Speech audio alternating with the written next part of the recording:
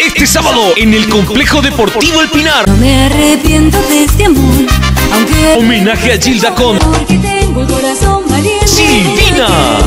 Porque vos y yo sabemos que Gilda vive. Silvina.